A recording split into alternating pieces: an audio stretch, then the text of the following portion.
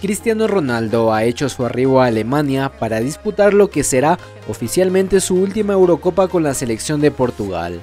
A sus 39 años, Cristiano llega como uno de los referentes de su selección y ha causado completo furor y revuelo en los aficionados. Cientos de fans esperaban la llegada de Portugal para ver a Cristiano Ronaldo, quien se daba tiempo para saludar y dar autógrafos a los aficionados que lo ovacionaban.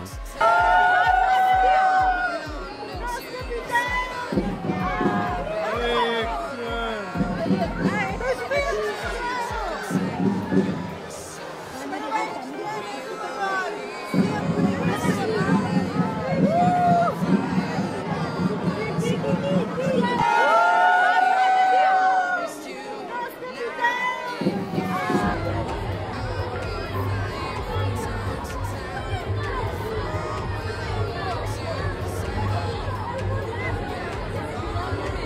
De esta manera la selección de Portugal ya se encuentra en Alemania para afrontar la última Eurocopa de Cristiano Ronaldo. Los lusos debutan el próximo martes ante la República Checa.